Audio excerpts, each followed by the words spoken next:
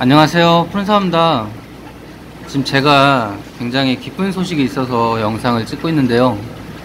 지금 여기 화면에 보면은 콩나물 대가리처럼 생겨서 바닥을 기고 있는 게 있는데요.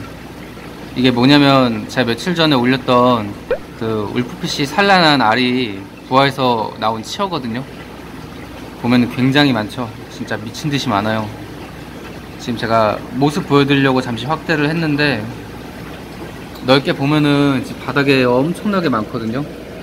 보이시죠? 이게 다 그 피라냐 사냥꾼으로 잘 알려진 육식어인 울프피쉬의 치어들이에요. 보시면 사이즈가 엄청 작거든요. 제 손이 이만한데 치어가 이만해요. 진짜 아직 물고기의 형태도 아니죠. 무슨 정자같이 생겼는데 이게 솔직히 저는 무사히 부화 못할 걸 줄 알았는데 굉장히 말도 안 되게 잘 부화가 돼서 지금 바글바글해서 바닥을 기고 있어요.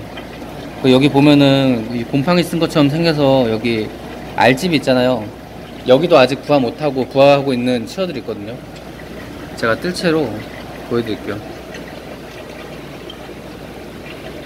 혹시 안에 있는 치어가 다칠까봐 살살 잡아서 보면은 안에 약간 오렌지색의 밝은 알들이 있거든요. 저게 지금 부화를 준비하고 있는 치어들이에요.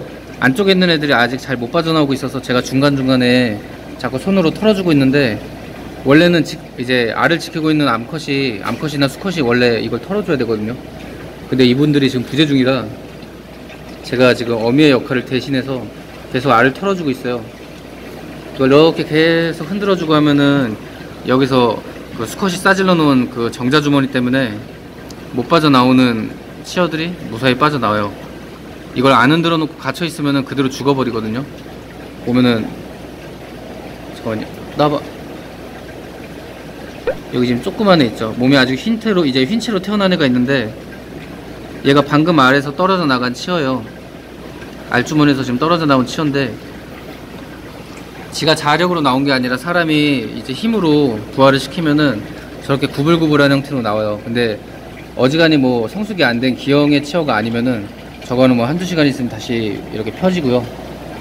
근데 신기하죠. 지금 솔직히 물고기의 형태도 아닌데 얘네가 다 자라서 그 산악기로 유명한 울프피쉬가 되는 거예요. 보통 이제 이 정도 이상 자라죠. 한 30cm 40cm까지 자라는데 이게 마리수로 따지면 한 500마리 정도 될 거예요. 제가 예전에 울프피쉬 이거 처음 번식했을 때도 그 정도의 치어가 나왔는데 지금은 이게 두자 수조라고 해서 60cm의 수조에 바닥에 아주 널널하게 있는 상태인데 딱 한 달만 지나면 여기 바닥이 꽉 차요. 진짜 요만큼의 틈도 없이 치어가 바닥에 꽉 차거든요. 치어들이 바닥에서 놀기 때문에. 그 정도로 많아져요. 성장도 굉장히 빠르고. 그래서 아주 조만간에 재밌는 모습을 볼 수 있을 것 같아요. 참고로 얘네는 오늘 1시, 2시 정도부터 부화해서 6, 7시까지 지금 부화를 하고 있는 상황인데 이거를 상황 이제 한 4일 정도? 4일 정도를 이제 그냥 냅두면은 저 배에 달고 있는 노른자 있죠. 저 노른자를 흡수하면서 이제 울프피쉬의 형태를 먼저 잡고 그 다음에 4일 있다가 처음 먹이 먹기 시작하면은 그 다음부터 이제 실지렁이, 브라임 슈림프, 뭐 사료 이런 걸 먹으면서 3주 정도 무럭무럭 자라가지고 누가 봐도 울프피쉬처럼 변해요. 이제부터 제가 얘네 부화한 애들 키우면서 그 성장 과정은 영상으로 이제 보여드리려고 하고 있고요. 여튼 이번 영상은 얘네 무사히 부화했다고 소식 알리려고 지금 찍은 거예요. 근데 작아가지고 치어 형태가 잘 안 보이네요. 근데 솔직히 진짜 부화 안 될 줄 알았는데 그 이번에 번식한 울프 종어가 3년 반 정도 키우신 거라고 하셨거든요. 전에 키우시던 분이. 근데 얘네가 원래 2년 정도면은 번식을 해요. 근데 이제 분양해 주신 분들이 각자 한 마리씩 따로 키우고 계시던 거라 암컷은 수컷의 존재를 수컷은 암컷의 존재를 모르고 이제 원래 번식할 시기를 1년 반이나 지나서 살던 거죠. 억제가 많이 돼 있어서 그런지 진짜 저 수컷 정자 솔직히 그렇게 많이 나오는 거 처음 봤어요. 정력 왕인 줄 알았거든요.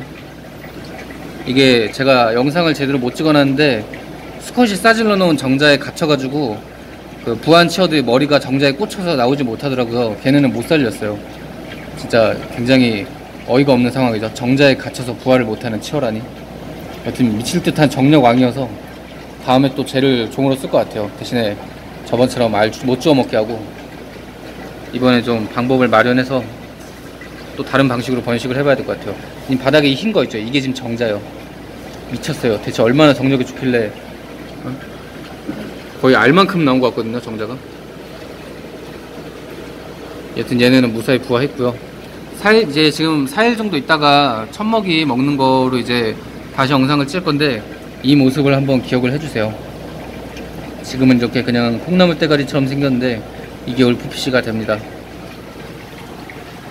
여튼 오늘 영상은 울프피쉬 치어들 이제 부화한 소식이었고요. 제가 요즘 번식 영상 올리느라 두서가 없는데 한 번에 번식을 여러 개를 했다 보니까 뭘 먼저 올려야 될지 모르겠어요, 솔직히. 근데 여튼 이제 한참 다 부화 끝나고 이제 치어 형태 나오기 시작해서 다 재밌을 때니까요. 조만간에 얘네랑 다른 애들이랑 잘하는 걸로 또 재밌는 영상 보여드릴게요. 여기는 맛보기로 요즘 하고 있는 애들인데 얘네도 재밌어요. 트로피칼 가라고 해서 가피시 치어인데 진짜 하루하루가 다르거든요. 개 재밌어요, 진짜. 매일매일 잘하는 모습이 보여서 맨날 CCTV 여기다 달아놓고 맨날 집에서 얘만 보고 있어요.